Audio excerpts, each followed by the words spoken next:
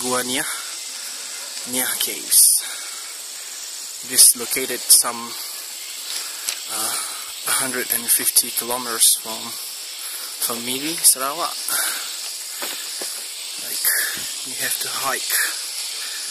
You have just to hike along the trail three kilometers until you reach here inside the cave. It has been spoiled slightly by human activities. Зачем ты поешь? Ты, блин.